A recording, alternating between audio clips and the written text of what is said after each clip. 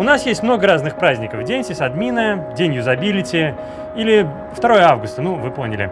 А есть особенные праздники, например, те, которые случаются только один раз. Привет, обитатели интернета и мобильных сетей, это droider.ru. Как вы уже, наверное, догадались, речь пойдет о том, что 21 октября 2015 года – это тот самый день, в который отправился Марти Макфлай в фильме «Назад в будущее 2». Как видите, все сбылось, вокруг сплошные летающие машины, дети на ховербордах и, и все. Но на самом деле мы решили сделать сегодня, в этот день, обзор э, гаджета, который действительно стал реальностью. Один из немногих, который предсказывал Земекис э, в своих фильмах. И это кроссовки Air Mag. Раз такое дело, начнем с распаковки. И еще сперва я хотел бы сказать спасибо магазину tommybrown.ru, который нам предоставил этот гаджет, эту пару гаджетов. Там прикольная подборка девайсов, на самом деле, которую мы с Валерой э, курируем. Так что зайдите, подпишитесь э, в Инстаграме и ВКонтакте и следите за обновлениями. Ну, а мы начинаем. Хочу обратить ваше внимание на коробку. Здесь вот есть такой смешной логотип и надпись «Магнетик антигравити. Э, видимо, используется какой-то антигравитационный магнит внутри этих кроссовок. Окей. В 2011 году компания Nike, которая, собственно, и в фильме производила эти кроссовки, выпустила лимитированную версию Air Mag. И сейчас а, оригинал этих кроссовок стоит на eBay очень дорого, в районе 7-8 тысяч долларов. Конечно, это недосягаемые цифры для большинства из нас, но, к счастью, а, существуют э, копии и реплики, которые а, выпускают и можно купить. Э, производители говорят, что это даже лицензионные копии. Ну, я точно не знаю, конечно, но по тем обзорам, которые я видел в интернете, они выглядят точно так же. Ну что, готовы? Вот они. Air Mag. Раз и два. Точно такие же, как у Марти. Давайте посмотрим, что еще есть в комплекте и потом перейдем к самим кроссовкам. Ну, собственно, тут ничего особо нет, тут коробка такая большая, также массивный кусок поролона для того, чтобы все это не болталось, и, конечно, зарядка. Зарядка американская, то есть действительно это э, копия предназначена для американского рынка. Есть проводочек обычный USB-шный, так что даже если у вас дома нет вот такой розетки, можете заряжать при помощи обычного э, USB-зарядника. Провод устроен таким образом, что можно заряжать одновременно оба ботинка.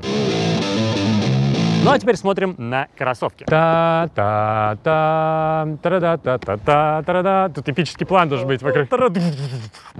Ну, э, сразу скажу, что они автоматически не зашнуровываются, как в фильме, к сожалению, мы пока до этого технологии не дошли.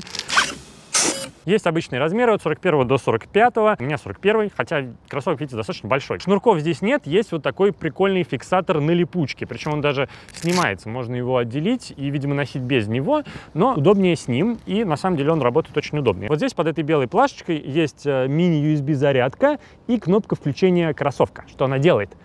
И они загораются. Горят вот здесь вот три светодиода и вот здесь вот два больших светодиода синим снизу. Подсветка такая же, как и в оригинальном фильме. Что касается дизайна, дизайн полностью копирует э, фильм, и здесь вот эти вот э, странноватые немножко разводы, сзади э, надпись Nike Mag. Я не эксперт и не обзорщик кроссовок и одежды, но мне кажется, что все качественно, хорошо склеено, прикольные материалы. Что касается времени жизни от батарейки, это несколько часов от 5 до 8-9 часов.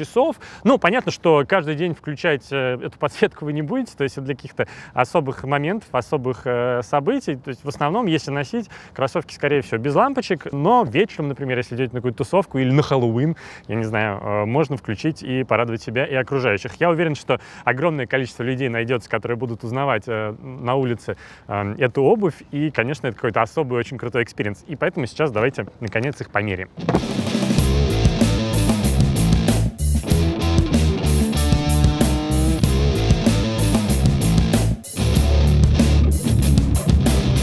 Класс! На самом деле, в отличие от саги «Звездные войны», «Назад в будущее» — это те фильмы, которые э, девчонки тоже очень сильно любят. И мне кажется, это в том числе неплохой пикап-гаджет такой. Застежки выглядят вот так. Вы пришпориваете сначала э, внешней частью, вот эту вот липучку потом продеваете и второй раз пришпориваете. Ну, что могу сказать? Они удобные. Но обратите внимание, такие крупные достаточно кроссовки, похожи на какую-то обувь астронавта, наверное. То есть э, летом, возможно, в них будет жарковато. Сейчас вот по такой погоде, типа плюс 5, плюс 10, ну вообще самое то ходить.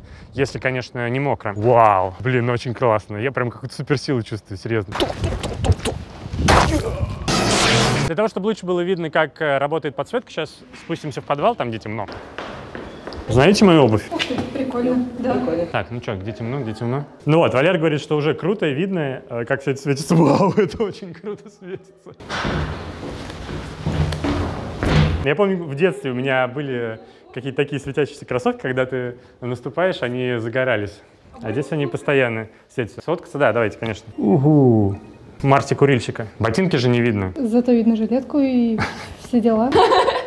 Пока, пока. Когда я говорил про пикап и гаджеты, я не совсем это имел в виду.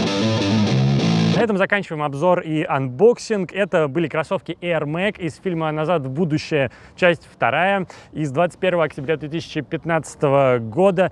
Кстати говоря, о цене стоят они совсем не дешево, 17 900 рублей. Понятно, что это не обувь, которую вы покупаете на каждый день, это скорее какая-то уникальная вещь для фанатов или отличный подарок людям, которым э, нравится этот фильм и эта серия. Еще раз спасибо магазину tommybrown.ru, который нам эти кроссовки предоставил. Купить их можно прямо там. Количество ограничено, размеры с 41 по 45 будут продаваться с 20 октября по 31. Кстати говоря, неплохой вариант для Хэллоуина, если вы вдруг э, любите наряжаться. И обратить внимание на мой специальный outfit тоже э, в честь годовщины.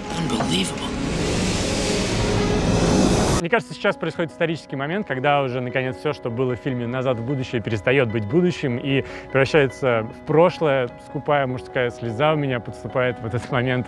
Есть много гаджетов, хороших, плохих, но есть особенные гаджеты, и мне кажется, вот эти кроссовки — это как раз одни из них. Э, Air Mag они называются. Спасибо, что посмотрели этот обзор. С вами были Борис Веденский и Валерий Истишев. Это droider.ru. Подписывайтесь на наш канал, будут другие видео, и до встречи в будущем. Стоп, мы уже в будущем? Уже в будущем. Мы уже в будущем!